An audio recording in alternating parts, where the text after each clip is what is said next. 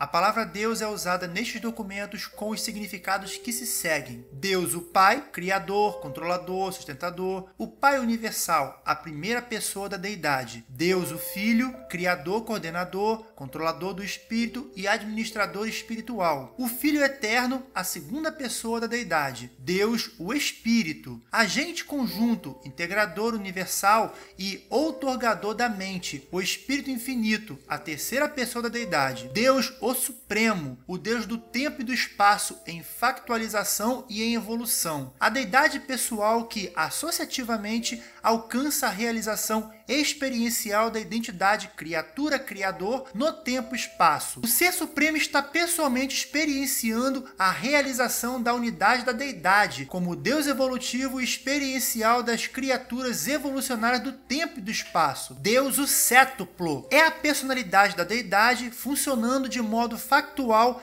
em todos os lugares, no tempo e no espaço. São as deidades pessoais do paraíso e os seus coligados criadores, funcionando dentro e além das fronteiras do universo central e que estão personalizando o poder como ser supremo, no primeiro nível da criatura, para a revelação unificadora da deidade, no tempo e no espaço. Esse nível, o grande universo, é a esfera na qual as personalidades do paraíso fazem a sua descensão no tempo e espaço em associação recíproca com a ascensão no espaço e no tempo das criaturas evolucionárias. Deus o último, o Deus em processamento corrente do supratempo e do espaço transcendido, o segundo nível experiencial de manifestação da deidade unificadora. Deus o último implica a realização adquirida dos valores sintetizados absonitos suprapessoais, dos valores de espaço e tempo transcendidos e dos valores experienciais